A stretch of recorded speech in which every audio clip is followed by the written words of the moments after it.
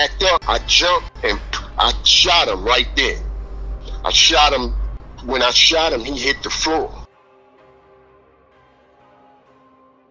Peace. Um, you know, um, I want to tell a um testimonial story about kids with guns, right? But before I start, I want to shout murder out. I want to salute my brother, right? And may he rest in divine harmony. You know what I'm saying? But anyway, we're gonna get to the story. Boom, um, you know, one night, one it was in the fall, in the beginning of fall, one night we was all standing outside doing what we do, right? And a, a car came through our block, right? Shooting everywhere. Shooting everywhere. Bullets was whizzing by everybody. And we all got down. Some of us made it to my door. We all wind up running in my in the house, like eight of us. Now, what year was And- this? Not, no, what year was this? This was eighty nine. All right. So we run, we running in the house, you know. I grab my joint. Some of some of the other brothers grab guard you nails, grab guns, and we go outside to see who is that shooting at us like that, right? Well, come to find out, they was chasing three young guys from the neighborhood. One of them was a new guy that lived on our block. They had been robbing people. You know what I'm saying? They had been running up on people with this big samurai sword, robbing them, right? So someone chased them down and shot our whole block up. Shot everybody, shot at everybody that they saw. So we're going, at this time, I didn't know what was going on. I just went to see who was shooting. We wanted to see who was, who was shooting at us like that. So we're all strapped up. And when I got to the corner, this is the corner of um, Vernon and Tompkins. When I got to the corner, we didn't see anybody, but we see these three young kids. I know two of them, but the other guy I don't really know. You know what I'm saying? But he was with them, and my cousin started questioning them like, "What's going on?" And one of them started telling like they shooting at us. These guys are shooting at us. And when when we got into it, when he got into why they were shooting at him, they told us that they had the kid been had been robbing people. You know what I'm saying? They didn't say with what or how. They was just robbing people in the neighborhood, right? I didn't know this kid, but I knew the other two kids from the neighborhood, right? Mm.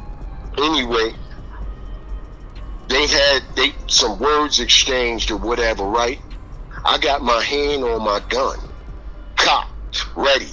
It's in my pocket though, because somebody had been shooting. You know what I'm saying? So I'm ready. I'm looking around. I'm not paying them any mind, any attention. So when I turned and looked at the kid and went to go get closer to him, him and my cousin was having words. When I got over there, I was like, listen, sure, sure, you can't do that shit over here. Can't be robbing people on this block.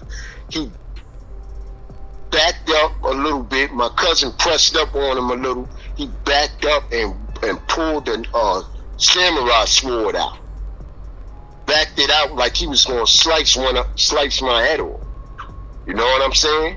When he backed up, I jumped and I shot him right there. I shot him. When I shot him, he hit the floor. He hit the floor immediately, but it, there was no blood. So I didn't even know if I really hit him like that. Then I looked and he had a hole in his side.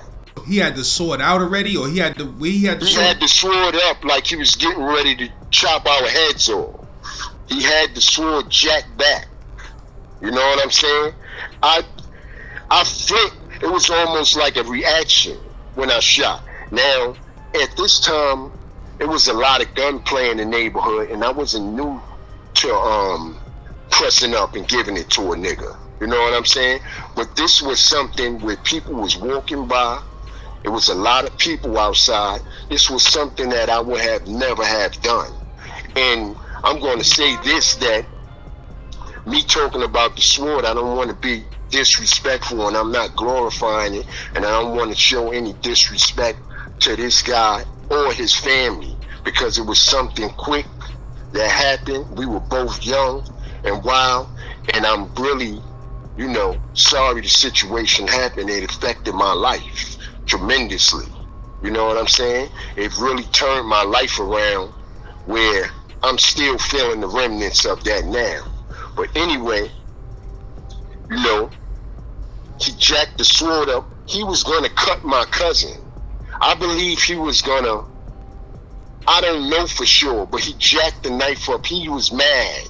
He was mad and he jacked the knife back like he was going to cut my cousin. I could have, I always question myself, should I have told him to put the sword down? You know what I'm saying? But when I seen it, he, he pulled it back and I let off. I let off, I was going to give him another one, right? But he hit the floor so hard, I didn't know whether he was faking or, or you know, what was going on. Anyway, I looked down at him and we cleaned the, the scene up. We cleaned the um we cleaned the whole corner up. We hid him, which we shouldn't have. While people were walking by, some people heard the shot and they was looking. But we took the sword out of his hand and and handed off to somebody. That was my first mistake. Secondly, there was a housing police at that time. They were still housing cops. They were housing police. Police must have heard the shots and was coming down the block. I walked right by him with the gun in my hand. He asked me what's going on. I said, I think somebody had a seizure down there. You know what I'm saying? So I make it to the rest or whatever, and they come back and tell me that the kid, he's gone, he died. You know what I'm saying?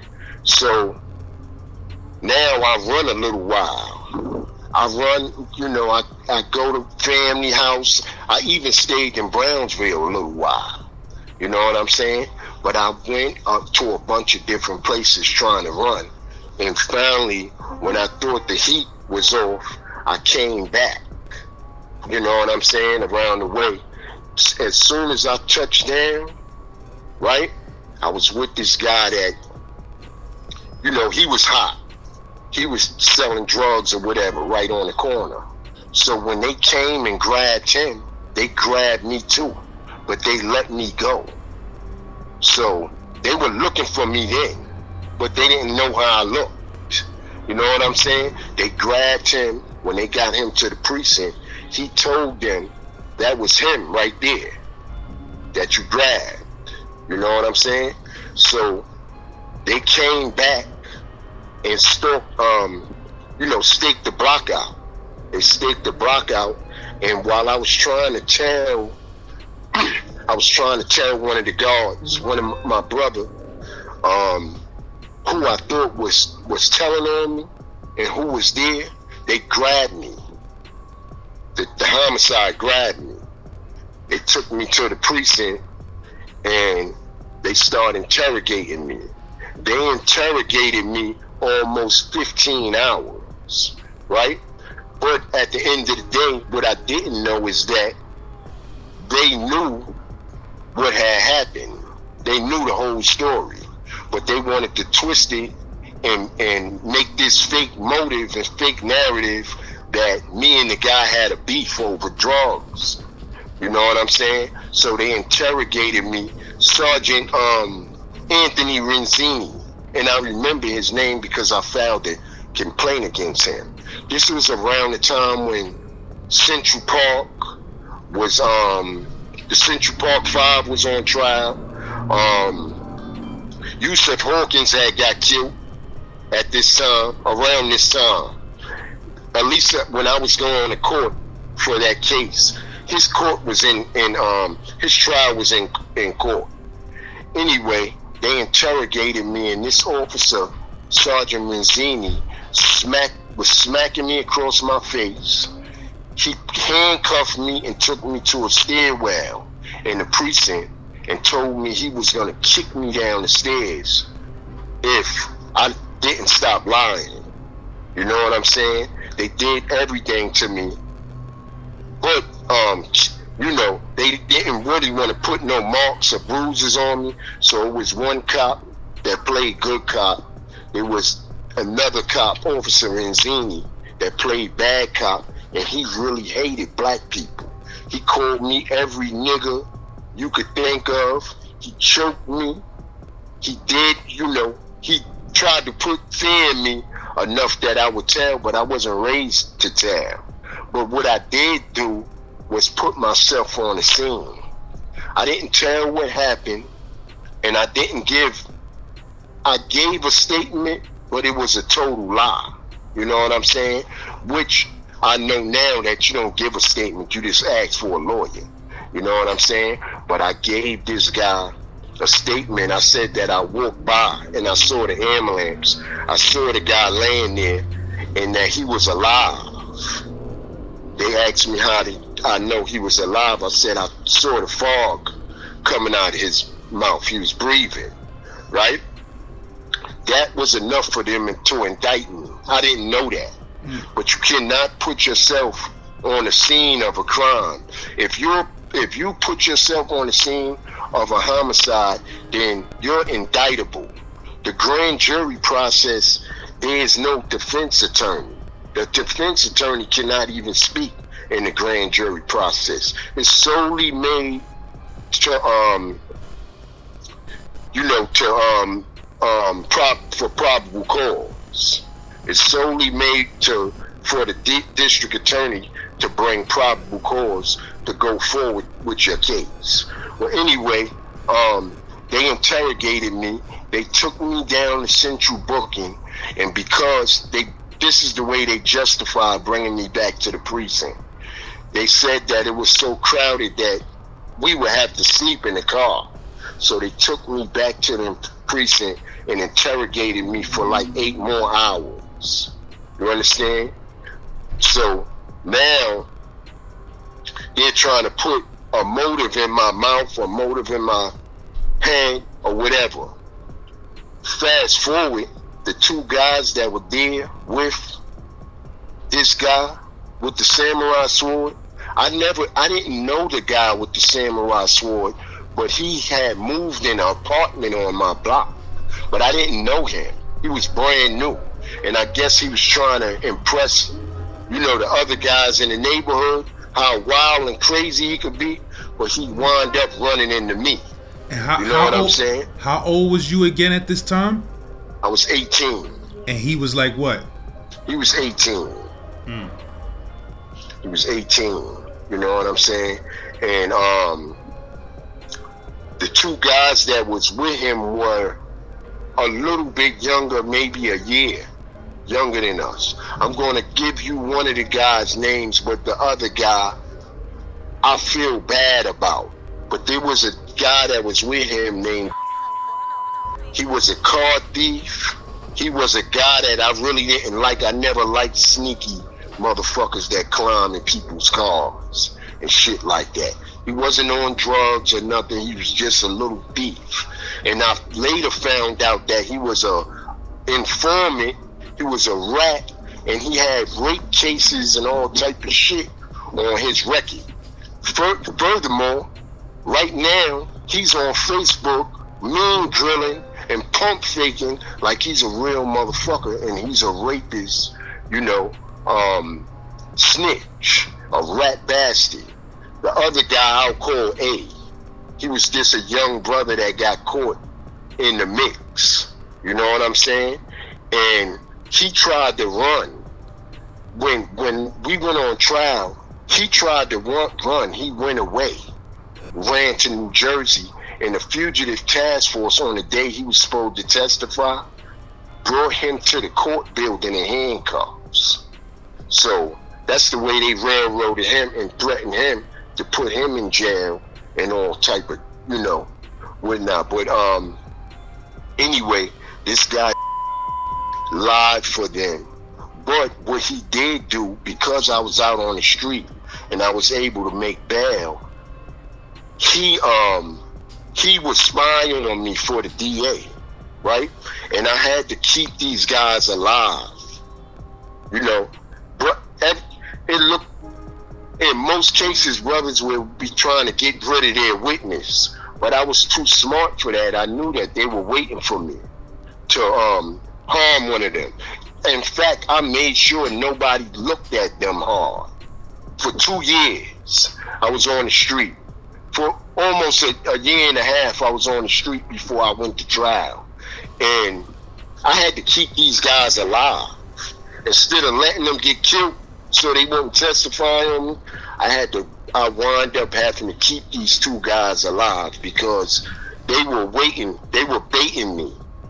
You know, I would see them with detectives. This guy would walk and pass my house while while the trial was going on. He would stand in front of my house. As soon as I would have threatened him, they would have put me back in jail.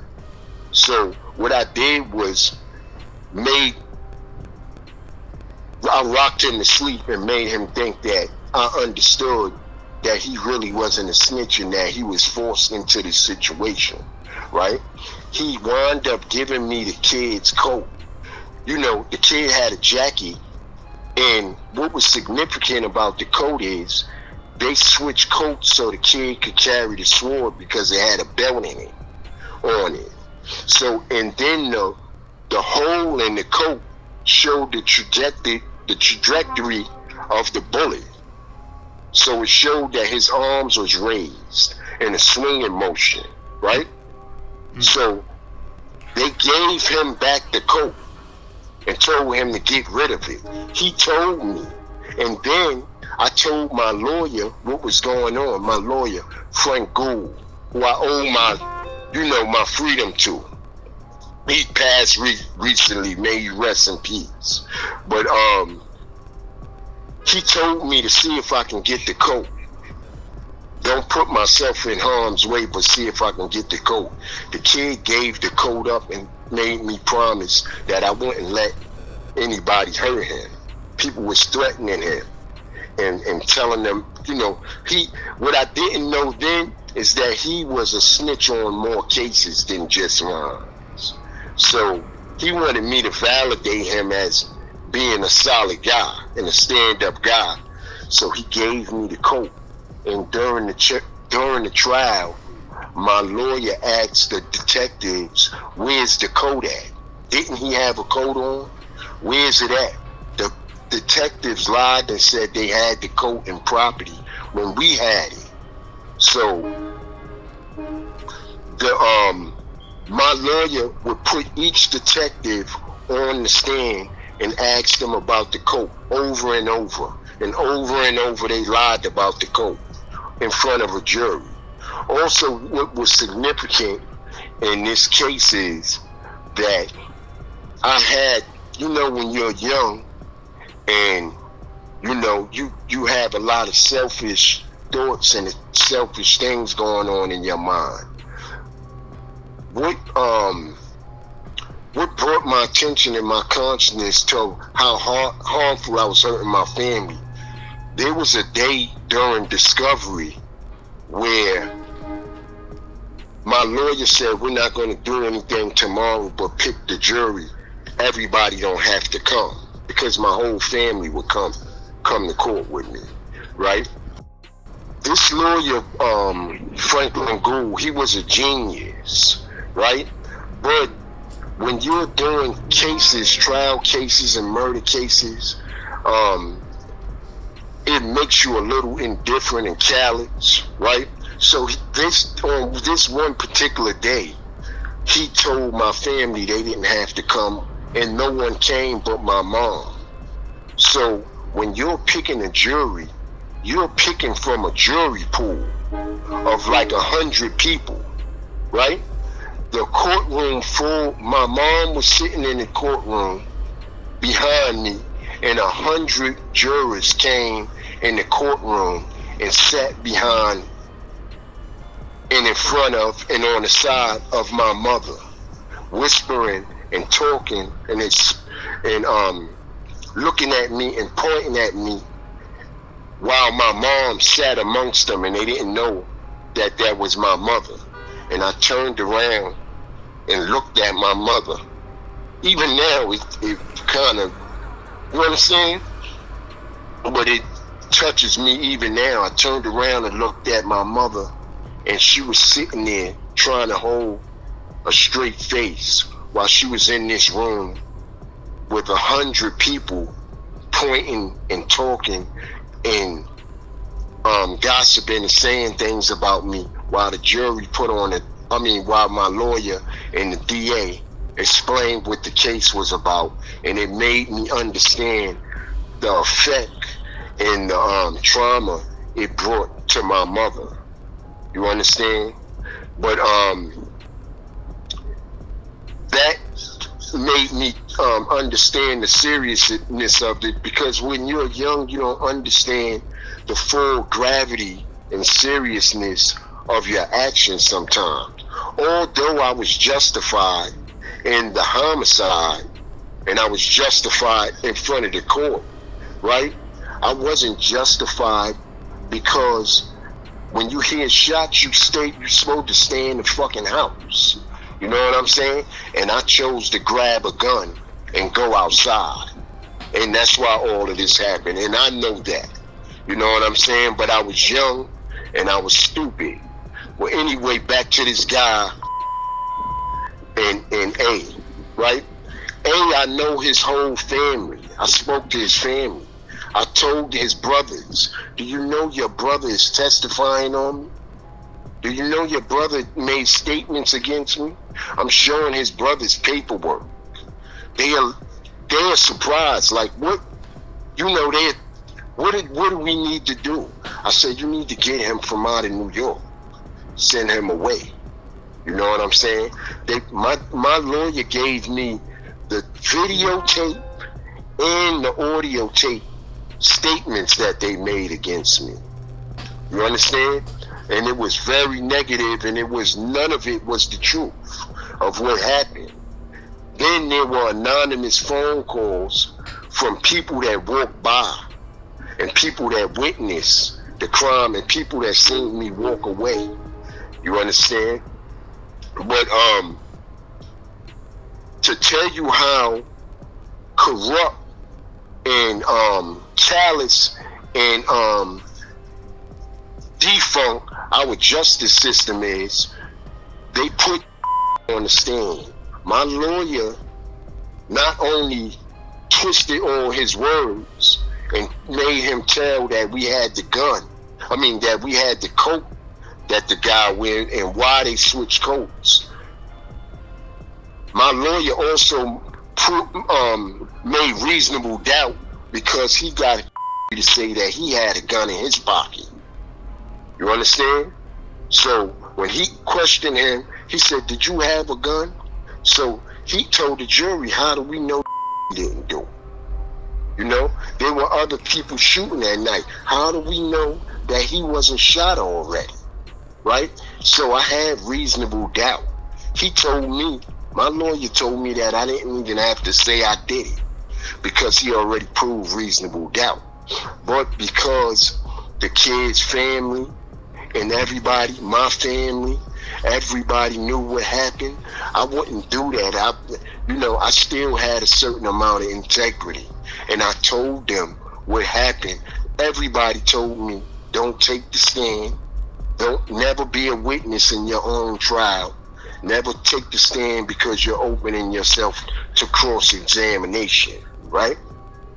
So I had a decision to make as a as a um, young man. You understand? And I made the decision to tell the story.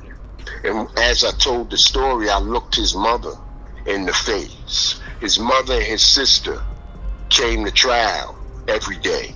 I looked his mother and his and his sister in the face and I told the story. I told what happened, you know, and the DA tried to rattle me and he laughed at me. He asked me how do I feel about what happened. I said I feel terrible.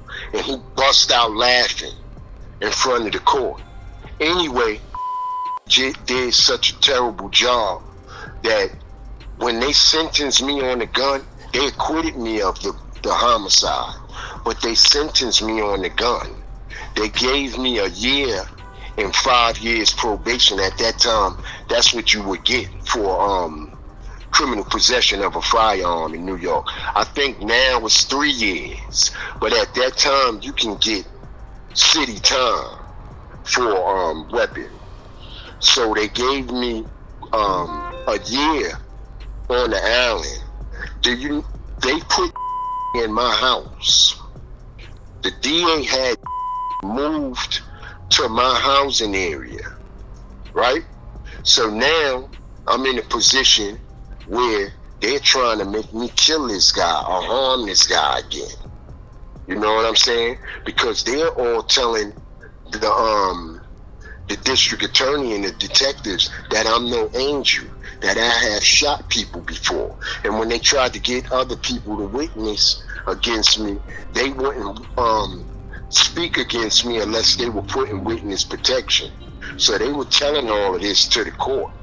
And he was telling the um the detectives and the DA that he was scared of me, that he feared me. He did so terrible and he folded and stumbled so bad in the court, the district attorney. I mean, my lawyer got him to say that to confess to another crime on the stand. He had broken to this woman's house and was chasing her around with with the gun when the landlord came in and caught him. You know what I'm saying? So my lawyer got him to confess to that crime on the stand. The district attorney, when I got sentenced and I got housed on Rikers Island, the district attorney put him in my housing area, in my house with me, and gave me paperwork on everything he had done and tried to set me up to kill this guy again.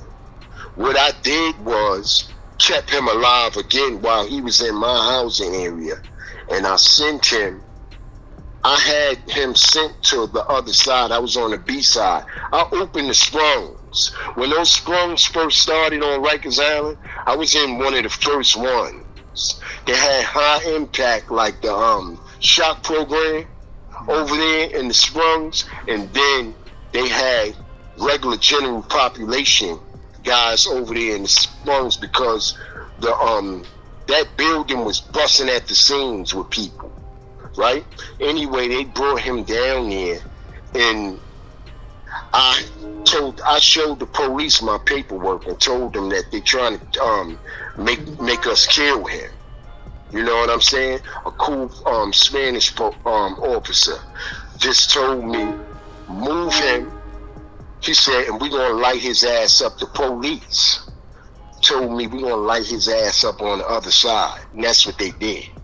They moved him. It was some guys from the next block from me over there on that side. They knew he was an informant also because he had told on somebody else in the neighborhood. And they got him over there and lit his ass up. You know what I'm saying? And ran him out the house. You know what I'm saying? I think, if I recall, he got stabbed in his ear real bad. Like in his eardrum. You know what I'm saying? And I had nothing to do with it. They couldn't put it on me, and um, that's how that went. But I feel bad about the other guy that he was put in a situation like that for being in the wrong place at the wrong time. I also want to say that this system is corrupt at its core. The the um the justice system in New York is corrupt at its core the, the prisons are filled with innocent people or people that were in incidents just like mine and they got 25 to life. You know what I'm saying? It just so happened that we were able to uh, retain a good lawyer. Had we not had that lawyer, like I told you previously, the, the, um, the lawyer told me he could get me a deal for eight or nine years to sit tight. You know what I'm saying? So a lot of times people are scared to go to trial because of you know the time they're facing but you have to learn the law and you have to know the law I'm not saying I was an angel after this incident. It just made me worse. This incident made me worse as far as gunplay and as far as um being in the street. If I was threatened or if if someone um I thought was a threat to me, I went ahead and did what I had to do. You know what I'm saying? I didn't wait or or you know wait to see what your move was, and I wasn't no shoot a thousand times guy. I was a one or two shot guy. You know what I'm saying? And hopefully I won't have to do that again. But I'm so um, distant and far from that life that it's hard for me to tell these stories now. But I need to because it, they're therapy for me. And I appreciate you, Laz. I appreciate appreciate you for um, inspiring me to tell these stories, and also murder inspired me to tell these stories, and Saquon inspired me to tell these stories. But I want to put uh, uh, emphasis on the the system and what it did to us. And at that time, the streets were corrupt.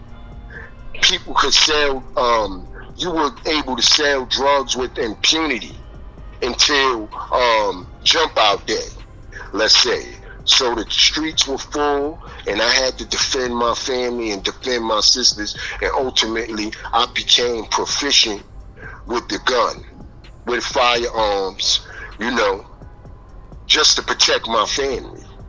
You know what I'm saying? I lost a lot of brothers. I lost a lot of sisters too to um, gun violence. And with that, I want to say peace to murder again. I want to say um, love and blessings to his family, and he was an inspiration to me. You know what I'm saying? And may he rest in divine harmony. You know what defense that my lawyer used? The get the Bernhard Goetz defense. He cited that case to get me off the Bernhard Goetz defense because they the, the law is if you if you can run if you can um, leave then it's not self-defense so they cited Bernhard Goetz case. So, so, that's do you remember Bernhard case? yeah where he shot the people on the train and all of that yeah yeah he got the same he got the same sentence that I did, a year and five years probation. So my lawyer kept citing his case. He said that my lawyer explained to me that the difference between justice and injustice is money, is rich and poor, and they're not going to do that to you. That lawyer right there, yo, he's a different guy. He's a different kind of guy and he was only like four nine. He had to wear high heel shoes to um, you know, when they call him to the bench. Hmm. He couldn't see over the bench, so he wore these big high heel like boots, so he could see over the bench. Hmm. And he he taught me, he groomed me for for trial, and he would put his hands on me and hug me, and he said, "I'm not gay." He would tell me, I'm not gay, but these juries have to know that you're human because they've been taught to, through the media, taught through the media that young black guys, young inner city guys are animals. Mm. So he said, "This is the reason I'm touching and rubbing you." He used to do this that. The, he used to do that in the courtroom. You mean? In the courtroom while we were on trial. That's, that's in front of the jury. And he was an Italian dude. No, a Jew. Oh, he was Jewish. Franklin Gould. He was Jewish, right? And his his um law firm was in the Woolworth in the Woolworths building, 61 Broadway. 61 Broadway. His partner is down in D.C., but he was old man. He was an old man. He was an old man, and he he kept asking me. He said, "Did you leave anything out?" And as the trial went on, me and him got to become friends. And while the jury was deliberating, he was crying.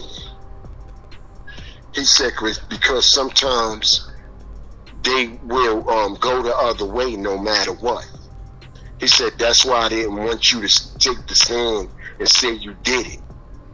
You know what I'm saying? And when they let me, when the jury came back not guilty, the um there was this white jury, a young girl on the jury. She was twisting her hair and rolling her eyes the whole time. And we were saying she hates you.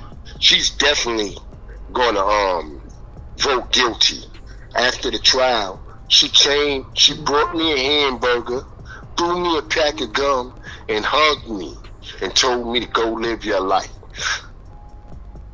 Mm. When I, I almost went, man, I almost, when I was speaking about my mother, I almost started crying. You understand? So it's as many as years as that was ago, it still touches me. It still touches me and it still reminds me that there are guys going through what I'm going through right now. You understand? It's guys, it's guys like murder that been in and out the system. We were, the environment made us who we were. As soon as they wanted to stop crime in those neighborhoods, they did it. They did it. They, the house that I grew up in is on the market for 1.6 million dollars. Look at look at 197 Vernon Avenue. That's the house I grew up in. That's the house I was born in. It's on the market for 1.6 million dollars. We had to fight them Jamaicans off our block. We had to shoot, maim, and kill them motherfuckers to get them off. They came and drove selling crack, and they would not. You know how it is. You live in you live in Brownsville. I ain't got to tell you. You know what I'm saying? It's it's um it's real how the '80s was. So you saying, see, a lot of people don't, they don't, they don't know anything about the New York '80s. Like, I've been hearing stories lately. Like my man told me recently that it was the Jamaicans that was running Rikers Island at first in the in the early '80s, and That's dudes was going to war with the Jamaicans. That's a fact. Do you remember your man did that story about the Jamaican war in Canarsie? Yeah. When he was talking about, do, do you know that the Jamaicans killed my man Born Master over here? You know what I'm saying? In Canarsie. There was a weed spot called Power. Yeah, I remember. You know about that spot? Yeah, I, remember. I used well, to cop from there. Well, they was going to war over there because they took over the neighborhood. They took over my block. You know what I'm saying? And they came with heavy artillery, right? But the guards, we ran them motherfuckers from off, off, off our block. It was a guard from some the shot. He was very militant, very militant, and he had an arsenal. He was militant, like strict. He came up with Chaz in him. Came up under Mutulu and, and Chaz in him. He was very militant, and he would come and you know the guards would roll literally. Literally, we would have to roll. We would have to go to war. And the police a lot of times didn't even come. You know what I'm saying? So the place where my grandmother and my grandfather used to walk to the key food or walk to the store, they couldn't walk anymore. You understand? Because it was drug traffic. It was like um, the walk, the living dead. You know what I'm saying? It was that literally all the neighborhoods was ravaged, and it was they were doing it with impunity and with the police sanction. The police knew everybody that was selling drugs. They knew everything that was going on. And when they got ready to stop it, they stopped it. They doing ballet in the middle of my block. Now. You know what I'm saying? Facts. They got a they got it's white people doing ballet in the middle of my block now. You know what I'm saying? You saying in the eight in the eighties, in the early what was that? The early eighties where you said it just started like you said the Jamaicans just started moving into the Stuy like crazy. Jamaican, do, do you remember that they used to leave houses abandoned, right? Back then, those brownstones, they were if if they were um, left and they were unkept, they would just board them up. The Jamaicans would come and make a hole and make crack guns on every block. Shower posse, all of them them gangs like that, they were in all in our neighborhoods with Uzis before we knew what Uzis were. You know what I'm saying? Hmm. So we had to we went to war with them first. We went to war. The part of this part of the reason why I'm proficient is because we had to go to war with them first. And I love my you know, my his my um heritage is mixed. You know what I'm saying? So I got everything in me. So I'm not um being um you know biased towards them, but that's what it was. That's what it was, man. And they were taking the, the, the girls that we grew up with and turning them into crackheads and all type of shit. Like New Jack City. You know what I'm saying? But only we was you living in this, you watching it every day. Then we also, you know, I started with the the, the um the the um the Puerto Ricans from um Lower East Side brought dope on our block. So we had to fight them too. We made mo- I'm gonna say this, I made a lot of money with them though. You understand? I did a lot of work with them. But you know, the Jamaicans was biased towards us and they wouldn't really work with us. You understand? And they were disrespectful to our communities. You understand? They wouldn't care if your mother was walking by, they would tell your sister, suck their dicks and all type of shit. You know what I'm saying? So we had to really get it, we had to get it in with them. You know what I'm saying? It came deep and look, because my family is um mixed heritage, I had a lot of Jamaican friends and they would tell me what's going on. They would tell me that's so and so. They had this thing with that they used to do. They would call some they would call a guy to their car and blow their brains out. You understand? They would set up shop and if they got in a beef, they would call like one a little guy that's standing on the corner or you know a guy that they know that that's gonna hurt us, they would call him to the car and shoot him in their head. You know what I'm saying? So they had a lot of shit with them with that. You know what I mean? And then when I got in the um when I got in the jail, I started learning a whole bunch of how they was moving. A lot of um guys they killed, like my man Born Master, they killed him, and I didn't know all how it went down, but I knew he was beefing with them like that. You know what I'm saying? The guards in particularly, because we wasn't going for it, and we was military. You understand?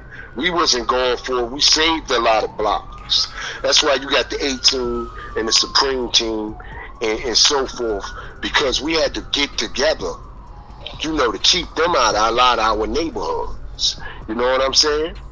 And they, the guards was disgraceful too, I will say. You know what I'm saying? But that's what was going on. They were fighting us. You know what I'm saying?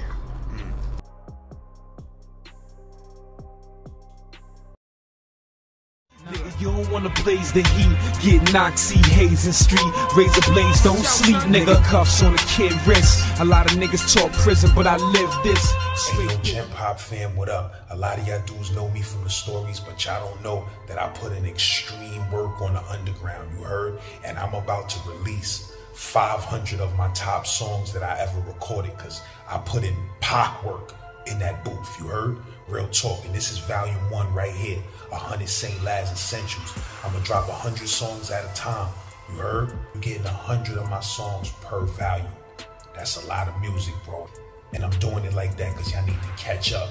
For those who don't know and only know me from the YouTube stories, y'all need to catch up. You heard?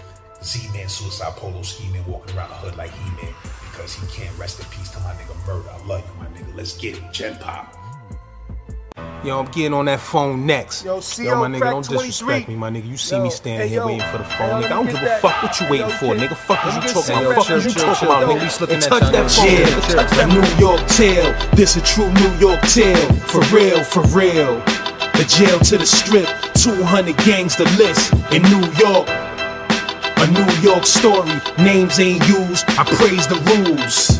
Yeah. A New York tale, it's a true New York tale, for real. Yo, Rock 99, lock confined. I